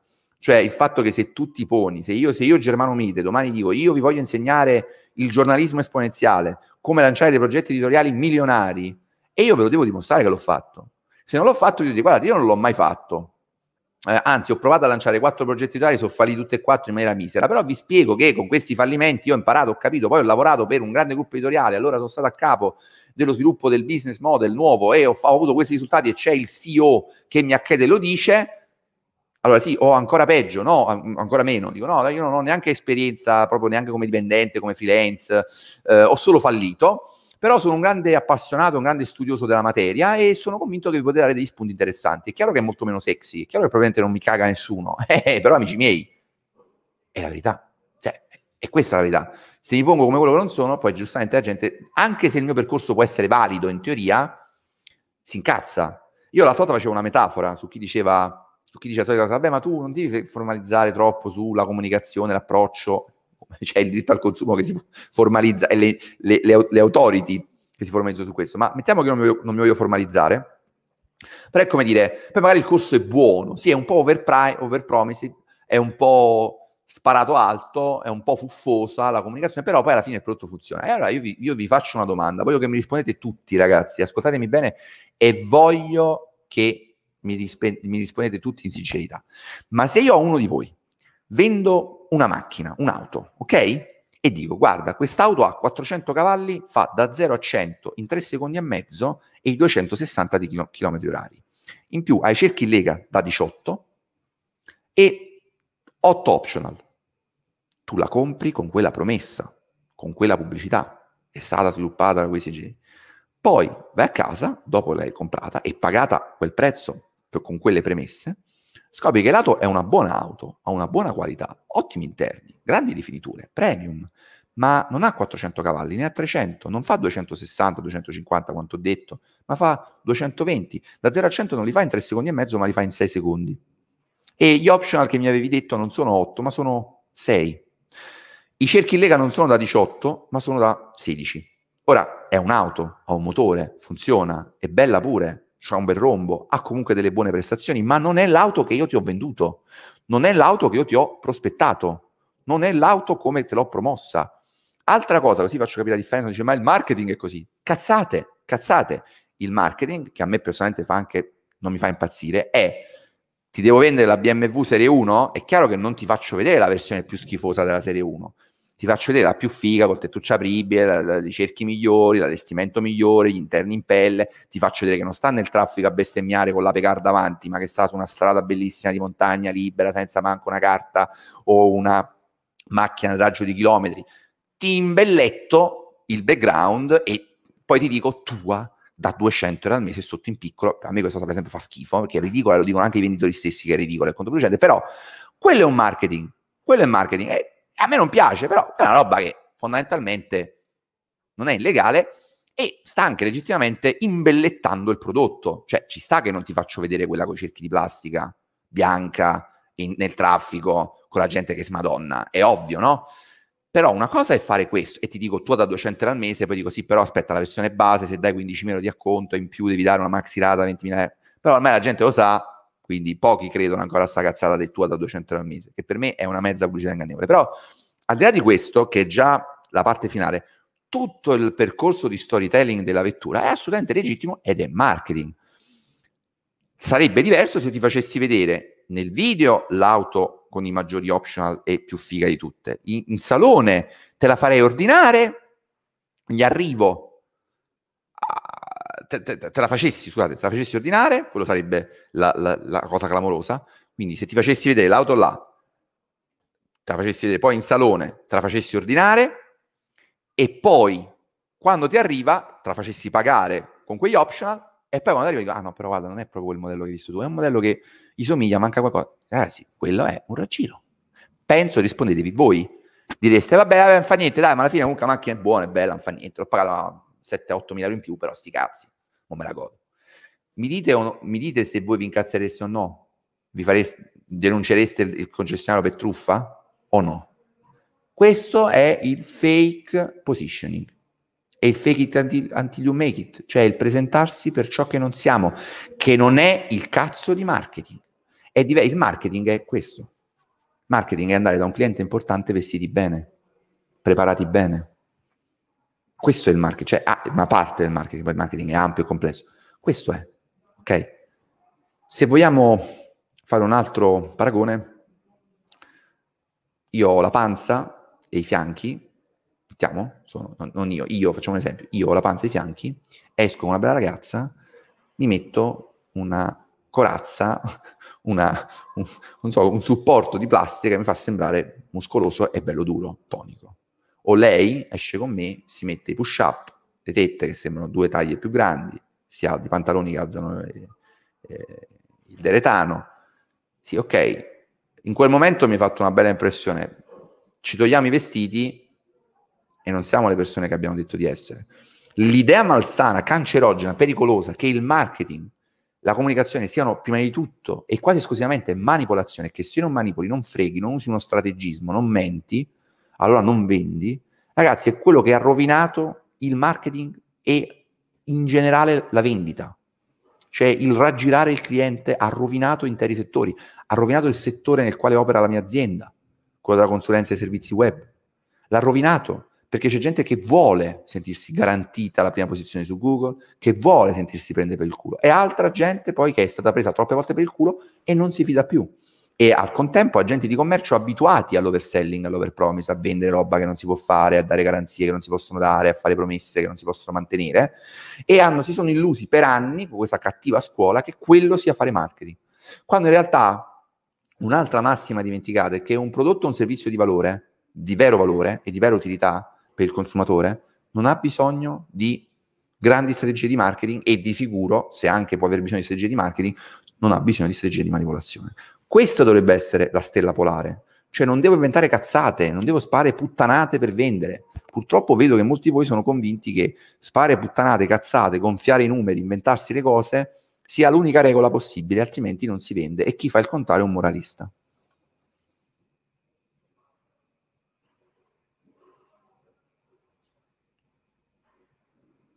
Era meglio il silenzio sperando che qualcuno attirasse maggiormente la tua attenzione e ti dimenticassi, lui invece ha acceso di nuovi riflettori su di lui. Ma poi, quanto puzza di fake quella telefonata lì? Di base aveva deciso di registrare una chiamata sperando di tornarsi utile. Sì, pure questo. Io mi chiama uno e la registro. Poi, per carità, io registro quasi tutte le telefonate che arrivano. Eh? una, un'app perché non so mai chi mi arriva. A volte mi arrivano dei pazzi mitomani e quindi ci sa. Però io non credo che lui faccia il mio lavoro. Quindi non so perché uno come lui dovrebbe registrare una telefonata. Poi che fai? Oppure magari non la registrata e gli dici: Senti, mi puoi richiamare? Tu, tu hater che mi odi, mi puoi richiamare così la registro? Eh? Che dici?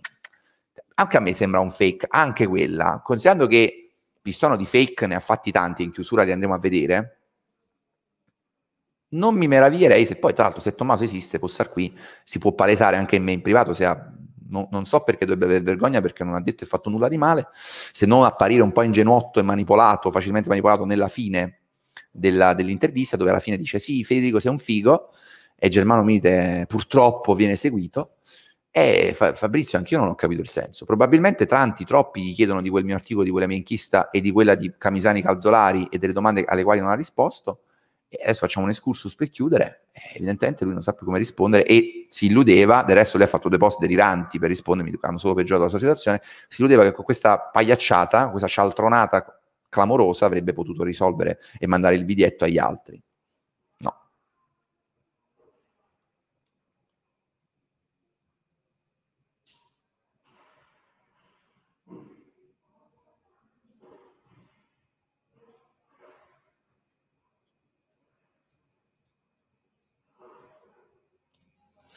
Alan, giusta la tua. Stai facendo un paragone con un prodotto che ha caratteristiche oggettive. È un bello spunto. Tutti i prodotti e i servizi hanno caratteristiche oggettive, tranne casi particolari, ma l'oggettività esiste. Cioè, se io ti dico, uh, Alan, io sono un imprenditore esponenziale di successo, ho fondato 10 aziende, ho 1000 dipendenti. Questa è una cosa che o è vera o non è vera. Ti trovi? È oggettiva anche questa. Non è, è come l'option della macchina. O c'hai il filtro antiparticolato o non ce l'hai o sono imprenditore esponenziale o non lo sono, cioè non è che sì però a metà, e se è sì però a metà va capito perché mi sono inventato metà cazzate. Quindi non è vera questa cosa, cioè il paragone si fa perché anche se tu ti affidi a me con un servizio di consulenza e io mi lanto esperienze, professionalità e competenze che non ho, ti sto raggirando esattamente come chi ti vende un telefonino con delle caratteristiche che non sono le sue, o ti vende un telefonino rubato come se fosse nuovo. Sono forme diverse di raggiro, ma è uguale, ti sto vendendo una roba che non corrisponde alla, alle premesse e alle promesse. Poi che ci siano delle strategie lecite, intelligenti per valorizzare i, mh, mm, è come quando uno si veste bene, no? Valorizzare i pregi e nascondere i difetti, ragazzi, quello è legittimo, quello lo facciamo anche noi tutti i giorni, quando usciamo a, a cena con la nuova ragazza, non penso che ci, ci, vestiamo male per far vedere tutti i difetti o ci sediamo e gli diciamo, le diciamo tutti i nostri difetti subito appena partiamo. È chiaro che cerchiamo di mostrarci al meglio, ma una cosa è che io cerco di mostrare il meglio di me come il giusto legittimo che sia a livello personale, a livello di marketing, e una cosa, è, cioè, questa cosa penso sia clamorosa che non, non, non si afferri, una cosa è che io dico, ma sai, io in realtà sono un ex pornodivo,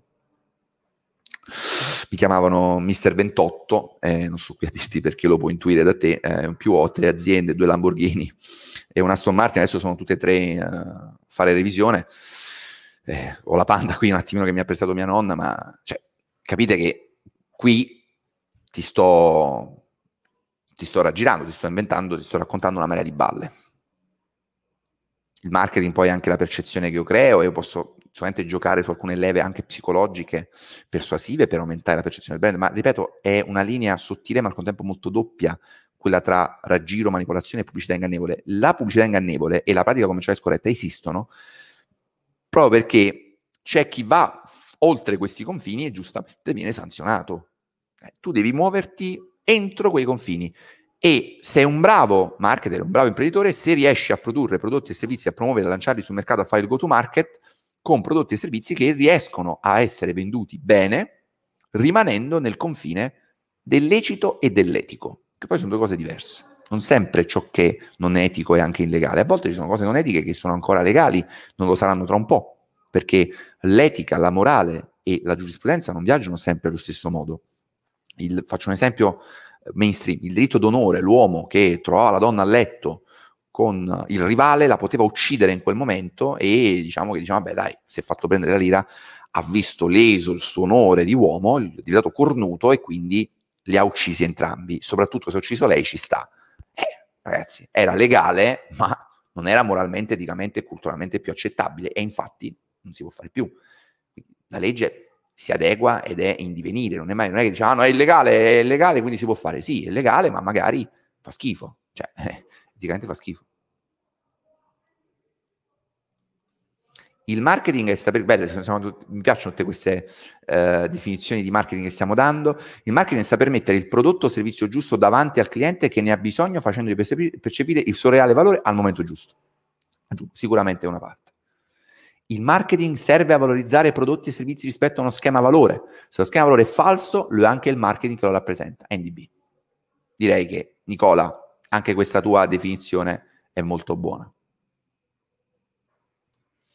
Io allora ho avuto la fortuna di parlare da gente che non pensa che fregare la gente sia un obbligo per fare business e sono strafelice. Il marketing è uno strumento, le scelte etiche e legali sono nostre secondo me, concordo con te. Quanta verità, bravo Germano, oggi sembra che il marketing sia associato a chi fotte meglio. Eh, purtroppo sì, purtroppo sì, hanno fatto tanti danni, eh, vedi anche Alan, la menzogna in mezzo, c'è cioè una balla, una balla, voi che è una balla su un prodotto fisico, tangibile, o una balla su un prodotto intangibile, la mia competenza, il mio storico, eh, la, il mio passato resta una balla e forse ancora più grave una balla intangibile. Perché la balla tangibile, se tu mi vendi questo telefono per nuovo, provi a vendere per nuovo, ma in realtà è usato o rubato, magari a una prima vista io vedo che ha dei graffi, è un po' usurato e quindi dico che cazzo fai? Oppure mi dici guarda questo è un Samsung S21, questo qua è un S20, credo sì, un S20 Ultra, guarda, vado a vedere, c'è scritto dietro Samsung S20 Ultra, quindi è più difficile fregare su una cosa tangibile e, e, e, dai al cliente l'opportunità di essere, diciamo, con un minimo di attenzione, di accorgersene ma se io, se io tradisco la tua fiducia e ti racconto una marea di cazzate che tu difficilmente puoi verificare, perché quando Pistono dice io sono imprenditore esponenziale, poi dice no, non lo sono imprenditore esponenziale, insegno a diventare imprenditore esponenziali. Prima diceva, poi ha cambiato, lui ha detto, ha detto troppe palle ragazzi, se vi andate a studiare ci sono troppe cose che non coincidono, perché lui, come quasi tutti i bugiardi seriali, non ammette di dire balle, cioè non, non lascia neanche spazio a dire sì, effettivamente forse qui ho sbagliato, no, è, è sempre la vittima, gli altri sono cretini, sono invidiosi, sono idioti. Chissà perché Federico Pistola non ha... Ma in realtà, eh, a meno che non l'abbia cancellata ora, eh, io la vedo, l'ho vista stamattina e sulla sua pagina Facebook ha, canc- ha eh, caricato questo video delirante che abbiamo, Comunque una marea di gente si illude che siano legali cose che non lo sono. Sì, sono perché non sono... È vero, è vero. Allora ragazzi, per concludere, nel frattempo fate qualche altro intervento, barra domanda, io vi voglio soltanto far vedere il fact checking, ci, ci, ci tengo, i due, i, i, cinque dubbi e le non repliche, cinque minuti, le andiamo a vedere e poi andiamo tutti quanti a pranzo, che si è fatto pure tardi.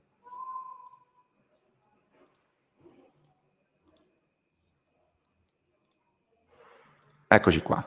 Allora, cinque dubbi si legge facile.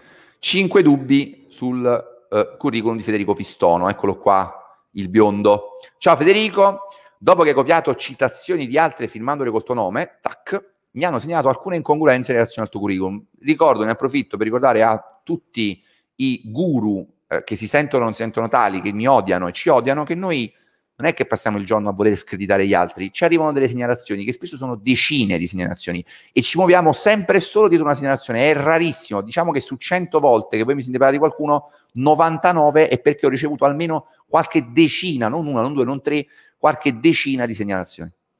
Sono sicuro che tu non oppure due, tre, ma eclatanti, ok, clamorose. Sono sicuro che tu non abbia niente da nascondere che si tratti solo di male lingue o di fraintendimenti. Non voglio certo fare il guardiano antifuffa digitale, non ci serve niente di male, caro Marco, comunque, ma come sai mi spendo da 25 anni, qui c'è il curriculum, lavorando nel mio piccolo per cercare di difendere la professionalità di chi lavora seriamente, che a volte viene rovinata da chi invece gioca sempre sul filo di lana delle furbizie, quello che diciamo prima, no? Eh, strigge, diciamo, strizza l'occhio alla, alle menzogne e alla manipolazione. Per cui ti chiedo, se avessi voglia e tempo, di rispondere a queste cinque semplici domande, alle quali Pistone ha deciso di rispondere, non rispondendo come ha fatto con me, con un video caciara. Ti definisci imprenditore, ma non è chiaro in che modo. Se si basa sul tuo curriculum, se ci si basa sul tuo curriculum, ci sono numerose aziende che hai fondato, è vero, ma se si entra nel dettaglio sono prevalentemente inattive o con utili risibili con per esempio Conoz, azienda, vabbè questa l'ho analizzata anch'io, non ve la leggo tutta, poi se volete, comunque lui fa esplori, fa il lavoro che poi ho fatto anche io dopo, aggiungendo altre aziende e approfondendo ulteriormente, perché nel frattempo penso ne, ne, ne sia uscita un'altra, sia sbucata un'altra. Ti definisci angel investor e pubblichi video pieni di consigli su come investire, sul fatto che metti i tuoi soldi nei vari progetti su cui investi. Siccome non si trova traccia di aziende su cui hai investito come angel, avresti voglia di dirmi, questo poi una mi pare che lui ha citata un anno o due anni dopo questo post, Um, avresti voglia di dirmi in quali aziende hai messo soldi e un'idea di quanto? Non credo siano problemi di privacy. Alla peggio, risponde, rispondendo, gli fai pubblicità che immagino faccia sempre piacere. E infatti, di base, gli angel investor non fanno robe segrete. Cioè, investono lo dicono, se, soprattutto se uno glielo chiede. Magari tu dici, io scelgo di non dirlo, non mi interessa. Eh, perché magari non mi, non mi, vendo questa roba dell'essere un angel investor come se fosse una sorta di patentino, però se lo voglio fare a maggior ragione poi devo, eh, investi- devo, devo mostrarle. Nel suo curriculum su LinkedIn scrivi, nel tuo curriculum scrivi nella sezione work di essere stato fellow da maggio 2015 a settembre 2016 alla RSA, Royal Society for the Encouragement of Arts, Manufactures and Commerce. Ma dalla RSA mi hanno spiegato che se sei un fellow significa semplicemente che sei uno dei 30.000 volontari che aiutano esternamente e che quindi non lavorano alla RSA. Se ho capito bene, se hai fatto solo il volontario, forse devi mettere quell'esperienza nella sezione volontariato del curriculum? O sbaglio? A proposito del tuo incarico presso Hyperloop, che nel tuo curriculum è oggettivamente la cosa più di spessore, dall'azienda mi dicono che tu non sei stato coinvolto, sei stato, scusa, sei stato coinvolto sattuariamente su un progetto che non è mai partito. Me lo confermi? Sì, confermo. Confermato.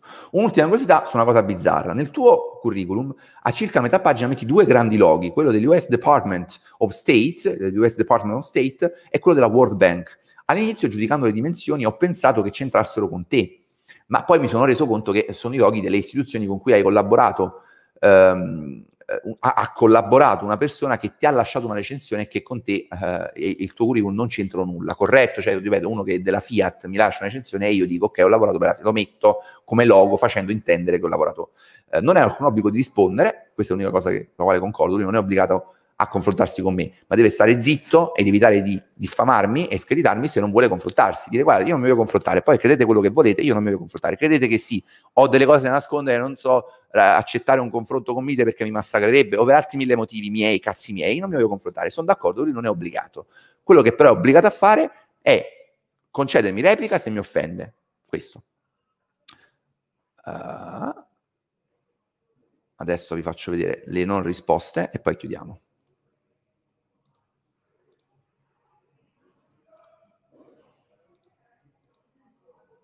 Ecco qua, la stessa cosa, la non risposta, infatti il titolo è Federico Pistono replica i dubbi sul suo QV ma senza rispondere alle domande. Ha replicato al mio post con questo video, non so se è ancora visibile.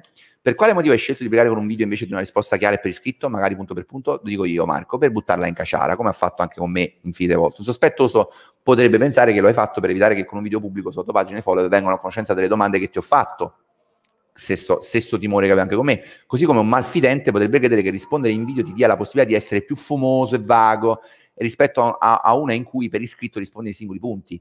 Inoltre, stranamente, non dici mai il mio nome, non lo cita mai anche lui, no? Uno, un personaggio, uno in cerca di autore, lui non ci cita, non si abbassa a citarci, ci offende soltanto. Un prevenuto potrebbe addirittura pensare che in questo modo non dai la possibilità a chi dovesse vedere in quel video un link di arrivare al posto originale con le domande. Il presunto intervistato di Pistono fa il mio nome che viene poi bippato e dice, eh, così senti una sola campana. È appunto Pistono, perché non la fai sentire la mia campana? Di cosa hai paura? Boh. Tuttavia, per carezza di chi legge, prova a riassumere le risposte alla tua videorepa. La domanda 1, in cui ti chiedo dove siano le tue aziende di successo, in quanto fai video che danno dei consigli editoriali, rispondi dicendo che è normale fare fallimenti, per poi fare cose di un pochino più di successo, ma non dici quali perché non ce ne sono, probabilmente. Dopo dedurre così, le citi sempre a caso, ma non le citi mai, le nomini ma non le citi. O meglio, le citi ma non le nomini, il contrario. Non hai quindi risposto alla mia domanda. Quali sono le aziende di successo che hai fondato? Secondo me la risposta ad oggi che possiamo dare è nessuna. Alla domanda 2, in cui ti chiedo in quale azienda hai investito i tuoi soldi e quanti, rispondi una domanda che non ti ho fatto. Anche con me risponde con delle domande che non ho fatto, tipico atteggiamento di vuole buttarla in caciara, ed è scorretto perché non sa come rispondere, quindi risponde con domande che non ho mai fatto, o con affermazioni, con affermazioni che non ho mai fatto, o con atteggiamenti che non ho mai avuto. Ovvero confermi che fai parte di Italian Angel Investor Growth, più grande gruppo di investitori di Angel Investor, bla bla bla, non ti ho chiesto se ne fai parte, non ti aveva chiesto, ma quanti soldi hai investito direttamente di tasca tua come Angel? Tipo, ti piace il giallo? Ma guarda, le moto sono delle vetture eccezionali, ma non sono neanche vetture le moto. Sì, vabbè, comunque, ma io ti avevo chiesto se ti piace il giallo. Nella non risposta elenchi dei nomi di startup che si fa fatica a capire, sì, si mangia un po' le parole in quel video, non si capisce con chiarezza, in quanto non hai messo tutto per iscritto. Inoltre parli di milioni investiti addirittura, ma al plurale, quindi non si capisce, rifacendoti, credo, a YAG, ma non rispondi su quali soldi hai messo tu. Cioè, è sempre vago, un po' caciarone, mai preciso, puntuale. Se hai investito 5.000 euro, 5 milioni, eh, fa la differenza per uno che fa post e video su come si investe nel mondo del business angel, dei business investor, degli angel investor, come cacchio li vuoi chiamare, degli angel investor, come cacchio li vuoi chiamare. Ovviamente ho contattato Young, Young 20 giorni fa durante la mia indagine sulle segnalazioni ricevute e mi hanno detto che fa parte, fa parte dell'associazione a un costo di 2.500 euro annui e si aggiungono 350 euro una tantum di iscrizione, quindi domani io potrei benissimo permettermi di entrare in Young, anche io, e ti dirò di più, potrei anche fare degli investimenti. Ovviamente non potrei investire come te che sei milionario, non si capisce come, ma potrei fare anche degli investimenti, ma non mi permetto di spiegare agli altri come si fanno investimenti. Ma anche qui purtroppo non hai risposto alla domanda quanti soldi hai messo e in quante startup? Difficile. Capirlo e saperlo. Abbiamo finito. Ah, domanda 3 sul fatto che RSA tu sia stato solo uno dei 30.000 volontari. Hai finalmente risposto. Grazie, ha ammesso che è così. Forse, visto che in fondo eri solo un volontario, potresti effettivamente toglierlo dal QV. No, dice Marco, mettilo nella versione, nella sezione volontario. Lo so che fa meno figo, ma è così. La domanda 4 sul tuo incarico presso Hyperloop, Hyperloop che nel tuo curriculum è oggettivamente la cosa più spessore, ha risposto confermando che il progetto non è mai partito. Grazie anche qui per la risposta. Quindi hai confermato che quella roba messa nel curriculum non ha molto senso. Cioè, se metti robe che non sono mai partite o che sono durate 15 giorni, forse tutte queste grandissime, incredibili, eccezionali collaborazioni che dovrebbero farci rosicare tutti e renderti un alieno, una semidivinità, forse, dico forse, non ci sono. Io nel mio curriculum, che sicuramente è molto più modesto del tuo, caro Federico, del resto io vivo invidiandoti, guadagno due lire rispetto a te che sei milionario, ma nel mio curriculum non c'è nulla che sia durato 15 giorni, nulla. L'esperienza più breve è stata col Corriere della Sera, col gruppo RCS, che è durata un anno e l'ho messa, fine. Tutte quelle che sono durate 10 giorni, 15 giorni, 20 giorni, un mese, 6 mesi, a parte che ne ho avute pochissime, ma non le ho inserite perché sarebbe un po' ridicolo, visto che il mio curriculum è già un buon curriculum. Per ora direi, ah, domanda 5 su cosa c'entrassero i due grandi loghi nel tuo sito, quello del US Department of State e quello della World Bank ha risposto e mi ha confermato che si riferiscono alla persona che ti ha lasciato la recensione e non a te, come immaginavo. Per ora direi che il mio lavoro si ferma qui. Chi vuole farsi un'idea ne ha avuto l'opportunità. Qua poi dà insomma dei consigli a Federico. Ok ragazzi, direi che per qualche giorno non è stata online la pagina di Pistono, non lo so perché io non la vedo, devo, me, la dovete, me la dovete passare voi o devo andare da un altro mio profilo a vederla.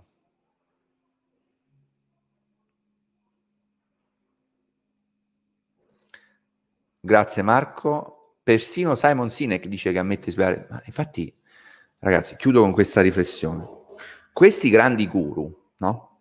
Questi grandi guru, che usano poi sempre lo stesso loop di controargomentazioni nei miei confronti e nei confronti di tutti perché hanno anche scarsa fantasia, oltre che incapacità di gestire le crisi reputazionali, vogliono insegnarvi come si comunica, come si, sta, come si investe, come si creano aziende, come si prendono clienti, ma sono i primi, sembra un po' i dentisti con i denti storti. Cioè io questa dente qua eh, non potrei fare il dentista, no?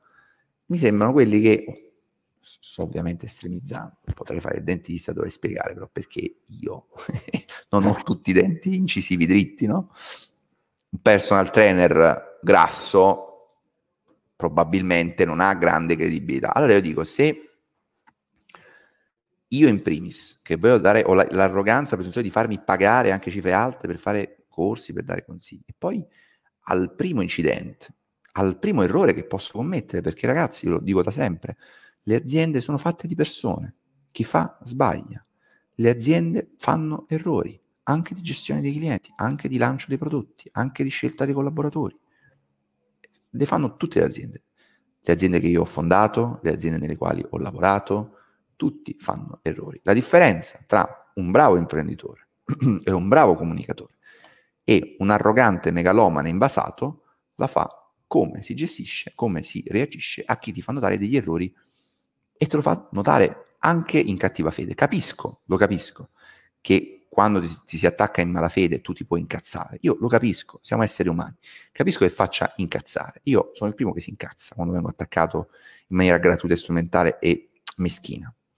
Però dopo razionalizzi, metti a fuoco e dici, cazzo, mi dicono, non ci vuole, lui ha fatto la, la paragone dello stupratore e stupratore, a me hanno dato del pedofilo, che è dieci volte peggio di darsi uno stupratore.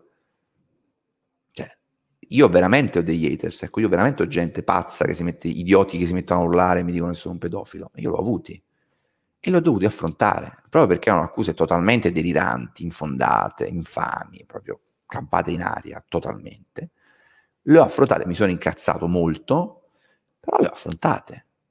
Se avessi censurato dal giorno 1 e avessi cercato di seppellire quella cosa, beh, ci sa che qualcuno avrebbe potuto dire, ma sai che forse, forse anche un fondo di verità c'è? Questa è la base. Poi io sono anche d'accordo che non sempre bisogna mischiarsi nel fango quando è troppo ed è ridicolo. E dopo che hai dato una tua prima risposta, vai avanti e ignora, perché se le accuse sono ridicole, sono infondate, sono deliranti, sono cialtronesche, rivelano ignoranza e malafede, sì, tu rispondi una replica alla volta, poi fine, è inutile che stai là a invischiarti, a rispendere all'infinito, a rispondere all'infinito e a perdere tempo ed energie. Quindi il reputation management, eh, la, il crisis reputation management è una roba seria, una roba seria che va fatta in maniera seria. Allora, quando Pistono avrà dei dipendenti, un'azienda di successo, una, non 10, 4, 5, 10, una, siamo fly down, Federico, perché sei molto indietro. Da questo punto di vista sei molto indietro anche a me. Lo so che ti sembra assurdo, ma sei dietro, dietro di me, cioè sei diversi passi indietro a me anche dal punto di vista del concept del lancio di un'azienda che funziona. Sei dietro. Io sicuramente posso imparare anche delle cose da te, dalle tante teorie che conosci, perché sei un ragazzo che avrà letto, si sarà informato, si sarà confrontato. Però da un punto di vista concreto, pragmatico, di creazione, lancio e validazione di un modello, sei dietro. Sei dietro a me e sei dietro a tantissime persone per una sola ragione. Sei a zero. Cioè, stai partendo forse adesso a 35 anni, non proprio giovanissimo, a cercare di validare la tua prima microazienda, perché la tua è una microazienda quella estone, vedendo i numeri, no? E fly down, calmino, piano piano, non avere impazienza. Capisco che tu ti debba posizionare già adesso come guru, che nella smania di sembrare un genio e un fenomeno ti sei inventato che nel 97 consigliavi ai tuoi genitori di investire in Google quando Google è nata nel 98 e poi hai messo una pezza peggiore del buco dicendo no, ma è un errore di battitura, vedete, Mite, Saccaro, è un errore di battitura, come cazzo fai a sbagliare 2004, anno di quotazione di Google, a 97? Se anche tu avessi previsto la quotazione di Google, come facevano i tuoi genitori nel 98, mettiamo che tu hai sbagliato anno, o nel 99, anche nel 2000, o anche nel 2001, o anche nel 2002, o anche nel 2003, a investire in una roba che non era quotata. Quindi tu suggerivi ai tuoi genitori di investire, mamma, babbo, mamma, papà, investire su Google, ma non è quotata, Federico. Stai bene? Tutto ok?